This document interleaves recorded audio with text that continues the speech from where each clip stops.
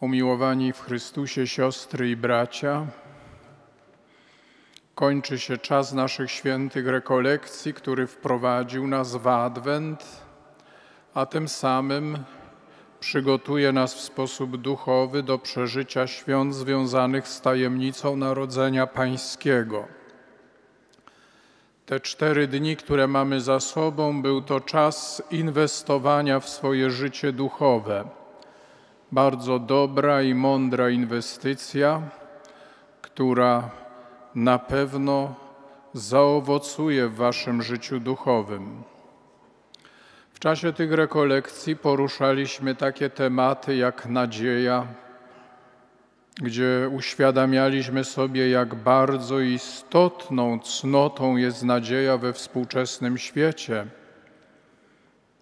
Jak bardzo istotną jest ta chrześcijańska cnota dla każdego wierzącego, zwłaszcza dzisiaj. Następnie pochylaliśmy się nad tajemnicą wiary. Wiara, która winna być żywa i owocna. Należy się wystrzegać tej wiary martwej i bezowocnej, bo taka wiara nie daje nam ani wzrostu duchowego, a tym bardziej staje się dla nas problemem. Tylko wiara żywa i owocna prowadzi nas do Jezusa i na tej drodze możemy zawiązywać jak najgłębszą relację i ścisły związek z tym, który dla nas jest drogą, prawdą i życiem. Wczoraj pochylaliśmy się nad tajemnicą zbawienia, że jesteśmy grzesznikami, ale jesteśmy zbawionymi przez Jezusa Chrystusa. Stąd mamy możliwość poprawiania naszego życia i ciągłego się nawracania poprzez sakrament pokuty i pojednania, i widzimy, jak bardzo grzech potrafi człowieka podzielić, zniszczyć zniszczyć relacje z innymi i jak wiele trzeba zapłacić, aby, aby przebaczyć, aby się pojednać. Wszystko to jest możliwe, ale tylko z perspektywy Bożej i przy współpracy z Bożą łaską. Dzisiaj, kończąc te rekolekcje, Chcę skupić się na temacie bardzo również istotnym i ważnym, związanym z rodziną. Rodzina, która jest podstawową komórką społeczną, i tak jak wygląda rodzina, tak wygląda dana społeczność parafialna, miejska, narodowa Europy czy świata. Stąd tak wiele się dzisiaj o rodzinie mówi i tak wiele jest różnych programów, które są proponowane rodzinom. Nie wszystkie te programy powodują, że te rodziny są szczęśliwe. Tak jak to w przypadku jednego mężczyzny, który zapadł na chorobę nieuleczalną, leży w szpitalu, ma 54 lata, jest samotny, a codziennie wyczekuje tak naprawdę jednej tylko sytuacji, a więc nieuchronnie zbliżającej się śmierci kim jest ten mężczyzna, którego mijają ludzie, personel medyczny, mężczyzny, który jest smutny, zamyślony. To mąż i ojciec rodziny. Ponad dwadzieścia lat temu zapragnął wygodnego życia, wolnego od wszelkich więzów Najpierw zerwał więzi religijne i odszedł od Boga. To nic nie boli, nic się zewnętrznie nie dzieje. Wydaje się takie proste. Następnie zrywa więzi przyjacielskie ze swoimi najbliższymi przyjaciółmi, którzy przychodzili do niego, dawali mu wskazówki, których on w ogóle nie słuchał. I następnie zerwał więzi rodzinne. Oddał się robieniu kariery, jak to sam określił. I po wielu latach dosyć dostatniego i swobodnego życia zapadł na chorobę nowotworową, a tego nie przewidział w swoim scenariuszu życia. To stało się dla niego sprawą beznadziejną.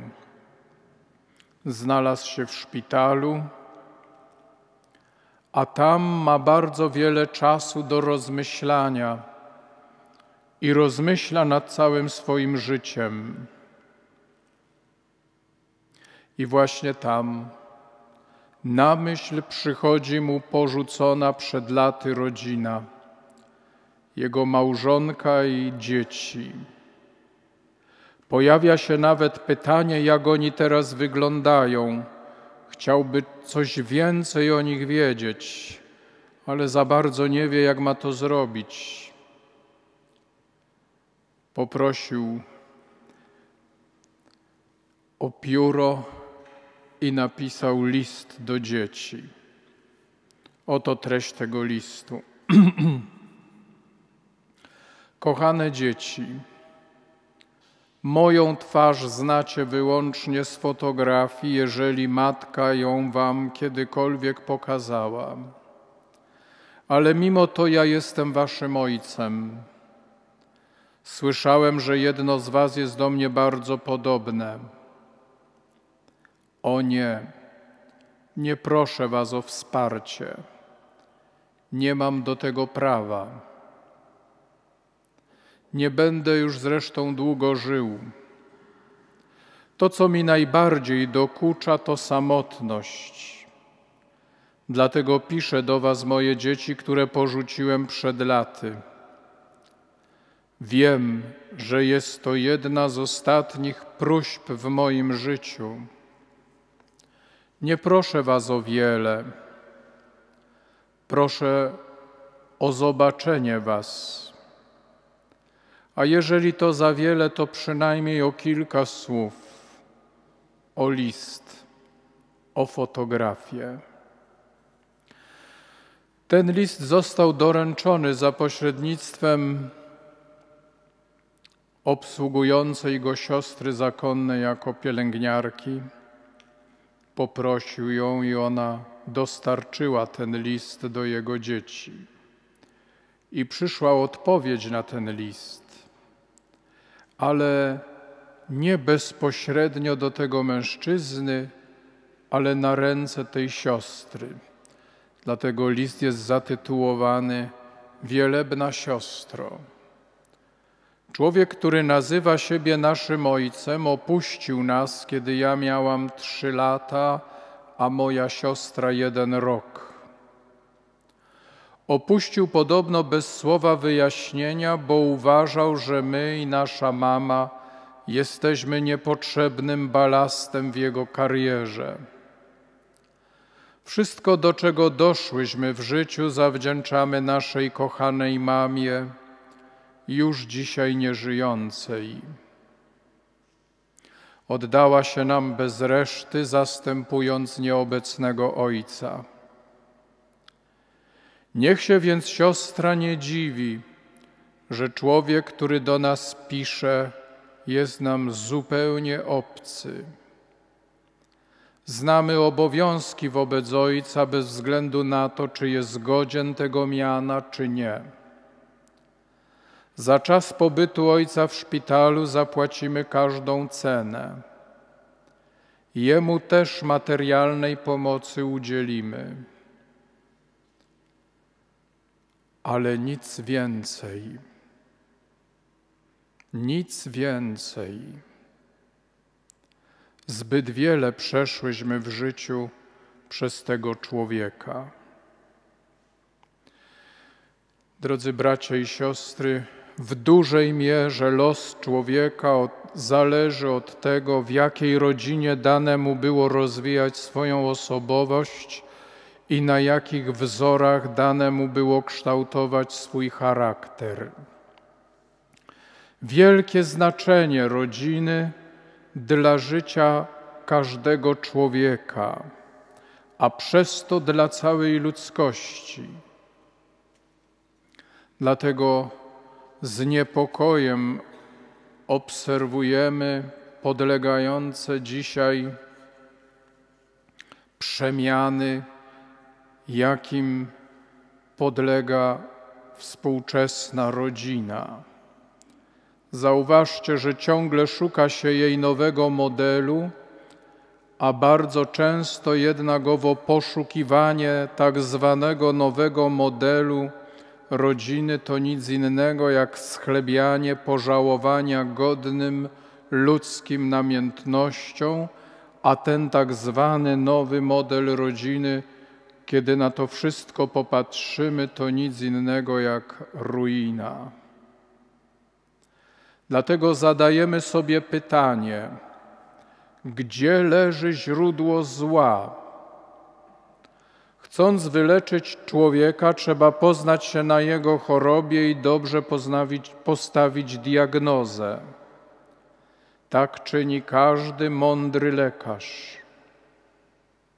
A jak nazwać chorobę współczesnej rodziny? Z pomocą, jak zawsze, przychodzi nam dzisiaj święty Jan Paweł II, który, będąc papieżem w latach dziewięćdziesiątych, widział te zagrożenia dla rodziny, dlatego napisał taki dokument, który nazywa się adhortacją apostolską Familiaris Consortio.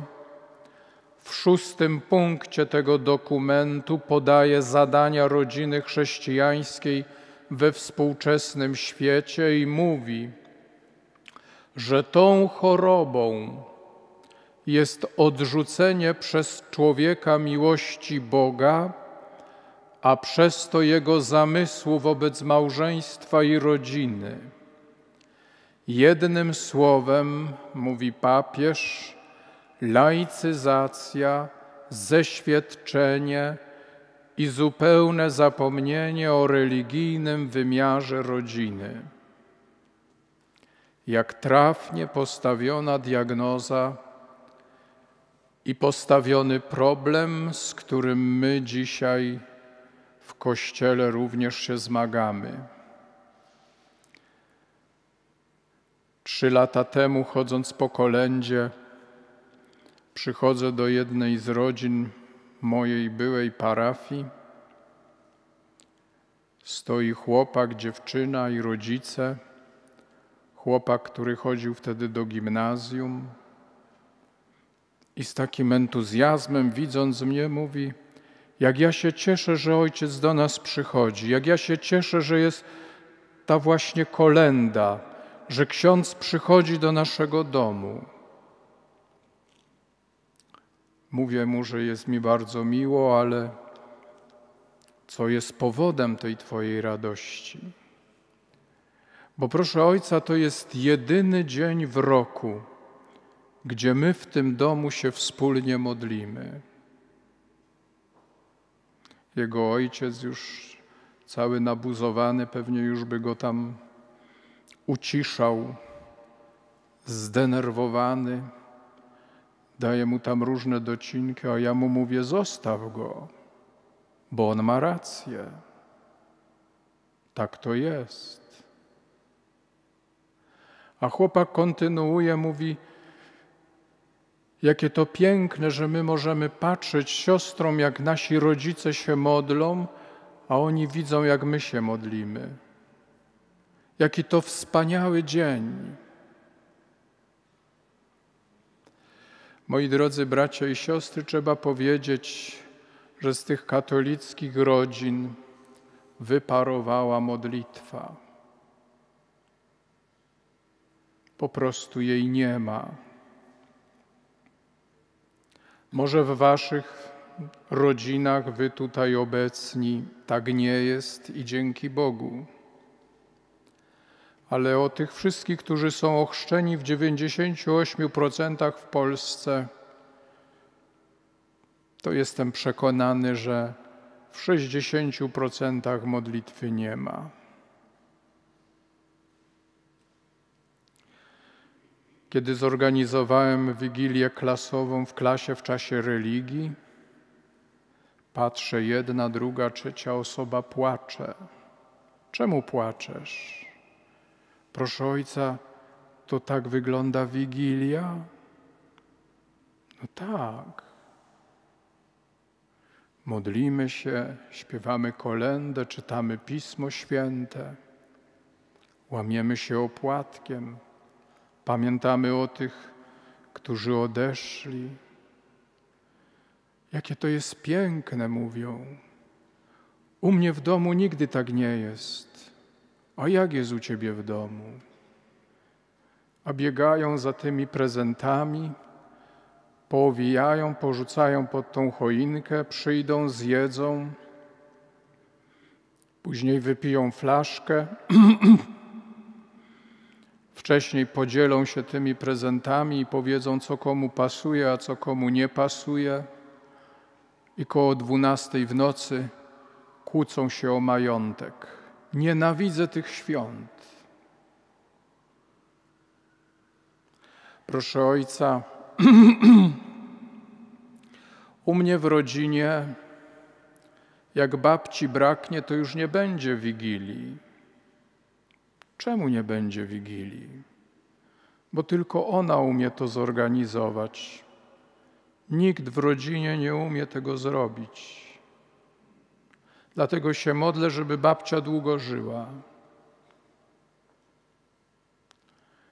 Laicyzacja, zeświadczenie, pozbawienie charakteru religijnego rodziny. Nie wolno nam, moi drodzy bracia i siostry, zapomnieć o tym, że dzisiejsze proponowane nowe modele małżeństwa i rodziny to modele świeckie, laickie i pozbawione odniesienia do Boga. Takim modelom niestety dzisiaj służy i radio, telewizja, kino, teatr. I z przykrością trzeba też stwierdzić, że dzisiaj wielu chrześcijan, katolików godzi się na takie świeckie modele rodziny, nie zdając sobie bardzo często sprawy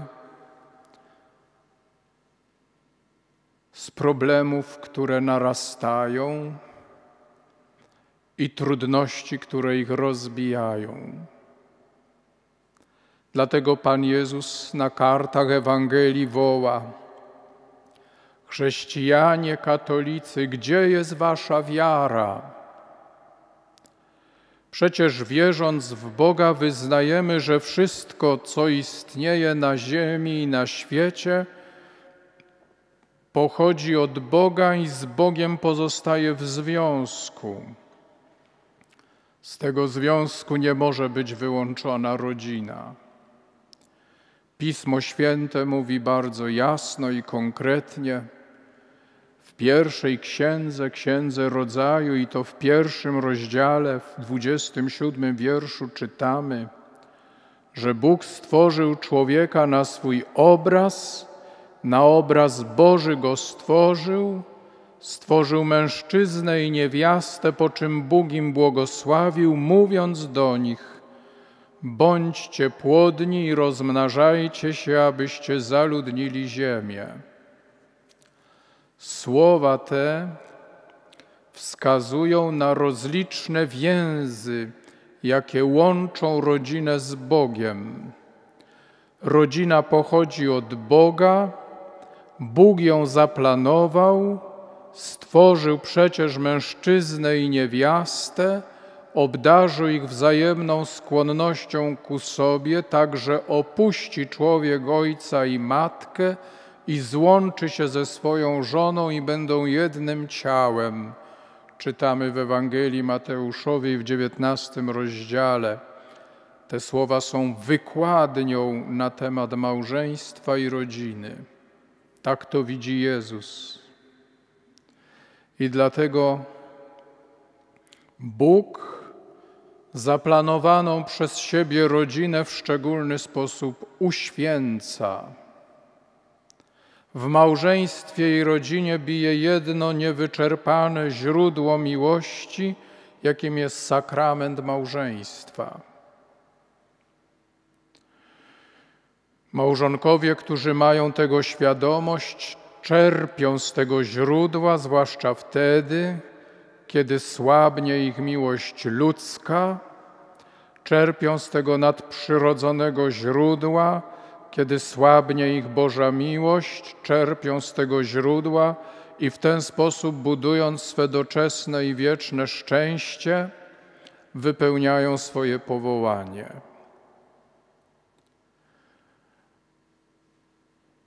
Kiedyś na kazaniu zapytałem dzieci, o co kłócą się rodzice. Taki chłopczyk podnosi rączkę i mówi: O głupoty. Prosta odpowiedź. Ile dzisiaj z tego powodu rozbija się małżeństw, nie umią się dogadać, wygaśnie to, co cielesne, nie ma tego, co duchowe i wszystko się rozchodzi. A przy tym, ile jest zakłamania, nie buduje się na prawdzie. Dlatego ten wymiar duchowy w rodzinie i w małżeństwie jest bardzo istotny i ważny. Święty Maksymilian Kolbe kiedy znalazł się w Auschwitz, pisał do swoich rodziców, do matki list. I w jednym z tych listów pisze: Kochana mamo, kiedy mi jest tu tak trudno i ciężko, w tych nieludzkich warunkach, w których się znalazłem, a zresztą nie tylko ja, ale tysiące ludzi,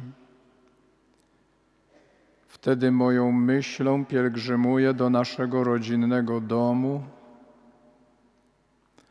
Widzę ten ołtarzyk i figurkę Matki Bożej Niepokalanej, gdzie co wieczór żeśmy się gromadzili i wspólnie modlili, jak tato prowadził modlitwy, a później zasiadaliśmy do wspólnego stołu. Ile tam było radości, ile tam było ciepła, Teraz, kiedy jest mi tu tak bardzo trudno i ciężko, i tęsknię za tamtym czasem, pielgrzymuję moją myślą do rodzinnego domu, i ta atmosfera, którą tam przeżyłem, jest dla mnie mocą i siłą do przezwyciężania tych trudności, z którymi obecnie się zmagam. Katolicki, religijny dom gdzie można żyć Ewangelią, jak pokazał święty Maksymilian, nawet znajdując się w obozie, który jest nieludzki. Tam również można żyć Ewangelią. Święty Jan Paweł II miał inną rodzinę. Kiedy miał dziewięć lat, zmarła mu mama. Ojciec wziął jego i jego brata i mówi: Od dzisiaj ona będzie waszą matką, pokazując na obraz Matki Bożej. A później młody lekarz, jego brat, szybko umiera. Pracował w szpitalu onkologicznym w Bielsku Białej, który do dzisiaj nosi jego imię. i przenosi się wraz ze swoim ojcem z Wadowic do Krakowa na ulicę Tyniecką. Jeszcze nawet nie myślał, że będzie księdzem. Pracował w Solwaju, w kamieniołomach, wychodził rano, wracał wieczór i mówi, kiedy wracałem wieczór, widziałem mojego ojca, żołnierza wojska polskiego, jak o dwudziestej drugiej klęczał i odmawiał różaniec. Są zapewne dzisiaj takie domy, gdzie możemy zobaczyć taki obraz, ale ile ich jest. Ale jedno wiemy, że to jest siła i moc. I dlatego, drodzy bracia i siostry, kończąc te rekolekcje, módlmy się za nasze rodziny i módlmy się w ogóle za rodziny i nie ustawajmy w tej modlitwie. I niech tak jak mówił święty Jan Paweł i o to całe życie się modlił i pewnie nadal się modli, aby one były silne Bogiem. Bo gdzie jest Bóg, tam wszystko można przezwyciężyć i tam jest szczęście, radość i moc, bo tam jest łaska. Amen.